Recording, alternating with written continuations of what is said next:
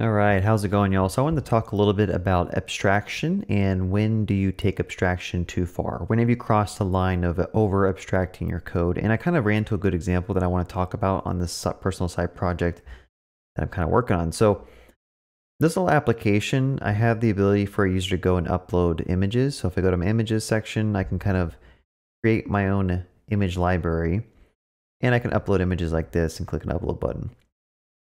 But notice that the cards here, um, you know, there's like a remove button on the card and that's about it. But if I go over to a template, I added a modal that basically uses a very, very similar style of cards, right? Um, so same idea, you have an image displayed and you have a button. So off the bat, you might think this is a great example of when we could basically uh, abstract some stuff away to make it a reusable component between these two things. Um, and I want to kind of show the difference. So if you look at the the card that had that use button, so this one, the blue one, this one is a Tailwind CSS component basically that has a use button. And when you click it, it calls an on image select.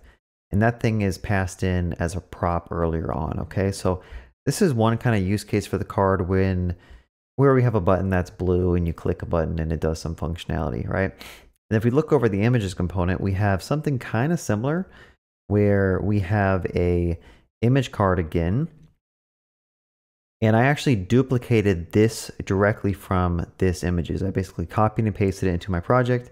And now I'm at the point where I'm trying to see if I should abstract this away, keep my code dry, or if I should just keep with the duplication because I don't feel like there is enough uh, reasons to abstract.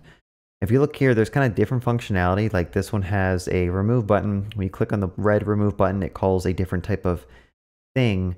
And then it also calls refetch images. I think I could probably refactor this a little bit better. So it's not like calling refetch images, but maybe calling something else. You know, this code from here down is identical to this code from here down, right? So they're the exact same styles and the exact same HTML layout. Um, and so you might be like, okay, well, I can actually abstract this away. So let me show you my abstraction.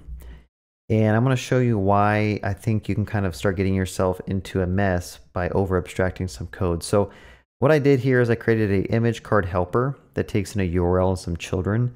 And the children are basically what you're going to be passing for the buttons, right? So here we have the children displayed.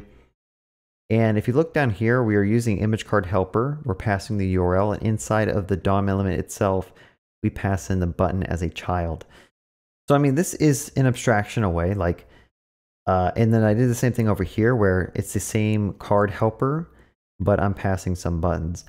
Um, now, in my opinion, I feel like this has crossed the line of like making stuff actually more complex than needed, right? Sometimes it's good to dry up code, but when it comes to HTML, usually HTML is the thing that's going to change the most often. Okay, so I can foresee just because I've been doing this for a while that on one page, I'm going to have to change a little bit of margin or a little bit of padding or a little bit of styling because the UX is going to be different on this modal than compared to this other page where I have these other cards, right?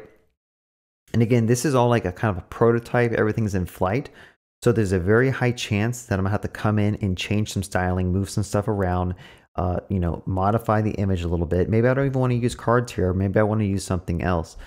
Um, so with those things in the back of my head, like going back to this abstraction, like, yeah, we kind of dried up some code, but in the end, was it worth it? Because now both of these components are very, very uh, kind of hard coded to the styling.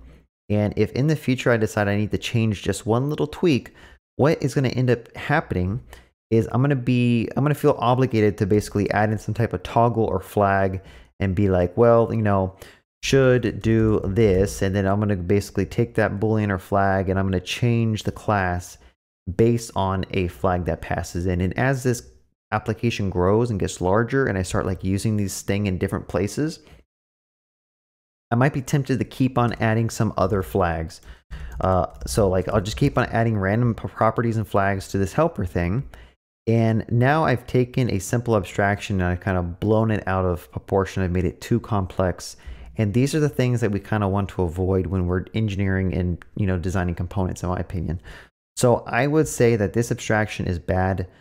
I would not do this in this case. I would just go back to the other approach, which was just duplicate the code. It's okay to have copy and pasted code, especially if you have a very, very high suspicion that this code is going to change or it's going to be in flux down the line. Okay, so that's all I wanted to kind of touch about on this topic. If you enjoyed watching, be sure to give me a thumbs up.